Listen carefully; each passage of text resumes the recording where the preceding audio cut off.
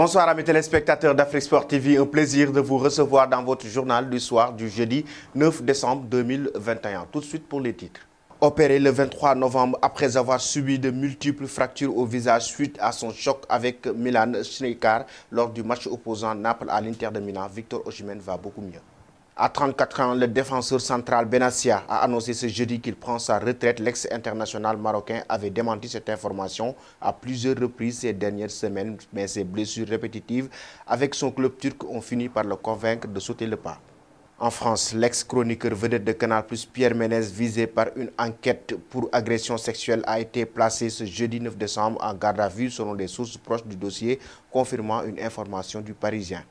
Et puis nous allons parler de la défaite du FC Barcelone sur la pelouse du Bayern Munich mercredi en Ligue des Champions qui n'a pas du tout plu à Xavi Hernandez selon Sport à la pause de coach catalan a sérieusement secoué ses joueurs dominés en Bavière avant d'être éliminé dans la compétition. Et puis pour terminer, l'agent du buteur norvégien Erling Haaland en a dit un peu plus sur son avenir et ses relations avec le Borussia Dortmund autrefois tendues.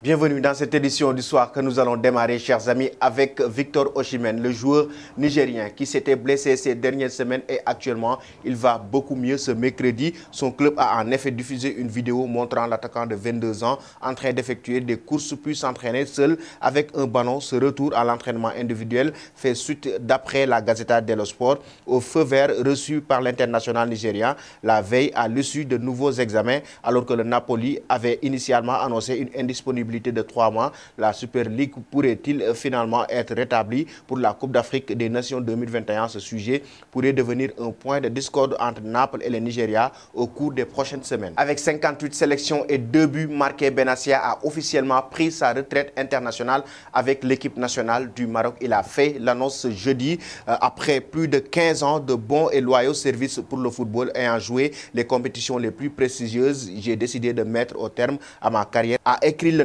de Courcouronne sur Instagram. Au travers de mon parcours, j'ai rencontré des gens formidables qui m'ont permis de me construire. C'est pourquoi je tiens à rendre hommage à tous les clubs dans lesquels je suis passé. L'OM, Lorient, Tours, Clermont, Udinese, la Roma, le Bayern Munich, la Juventus de Turin, euh, Karagumkum, considéré comme l'un des meilleurs joueurs africains à son poste entre 2014 et 2019. Benassia a notamment remporté deux titres de champion d'Allemagne, trois en Italie et atteint euh, la finale de la Ligue des champions en 2017 en sélection il avait inscrit un but important pour la qualification au Mondial 2018 contre la Côte d'Ivoire avant de prendre part au grand rendez-vous russe en tant que capitaine, le joueur formé à l'OM où il n'a jamais eu sa chance à ensuite enchaîner avec la Cannes 2019 et pris sa retraite internationale sur une décevante élimination en huitième de finale de la compétition face au Bénin quelques mois après avoir quitté l'Europe pour Dubaï tenté l'été dernier. Son comeback sur le vieux continent n'aura pas connu le succès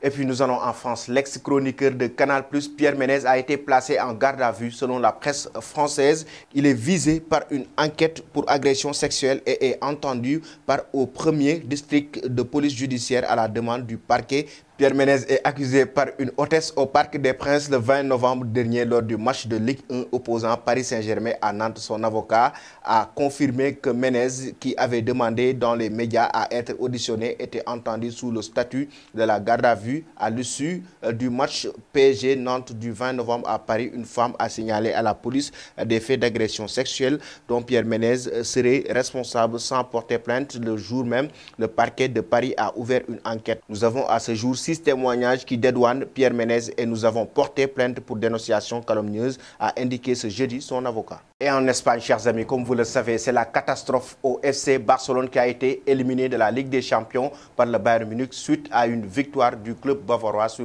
le score de 3 buts à 0.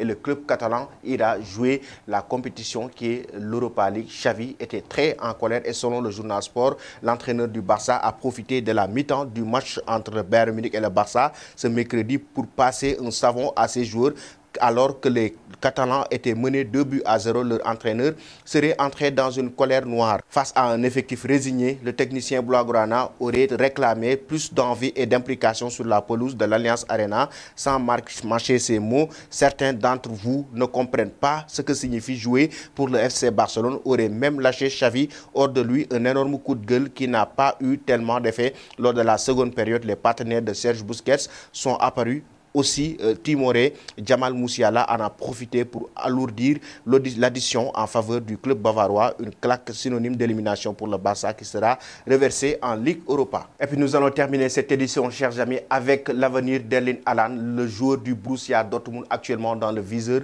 comme vous le savez, des grandes écuries européennes, surtout le Real Madrid qui voudrait euh, profiter euh, de ses services et son agent, notamment qui est l'agent de Zlatan Ibrahimovic, Paul Pogba et Marco Verratti, Mino Raiola et aussi celui d'Alan dont le départ programmé de Dortmund à l'été prochain promet déjà d'affoler le mercato et c'est d'ailleurs bien l'ambition de Mino Raiola, réputé par son sens aigu de la négociation et qui n'a pas hésité à affirmer aux médias allemands Sport 1 qu'il savait déjà où Alan pourrait atterrir. Nous y pensons depuis deux ans. Nous avons une idée claire là où Erling Alan allait et de ce que le marché peut offrir. Je serais un mauvais agent, sinon on peut influencer le marché avec un joueur comme Erling Alan entre le départ possible Mbappé et celui de Alan, le mercato 2022 promet d'être très agité. Voilà, chers amis téléspectateurs d'Afrique Sport TV, c'était tout pour votre journal du soir. Avant de vous quitter, la question concernant justement Erling Haaland, le joueur norvégien, dans quel club doit-il euh, signer? En même temps, Xavi Hernandez a-t-il raison d'être en colère suite à la défaite du Barça face au Bayern Munich? Merci et bonne fin de soirée.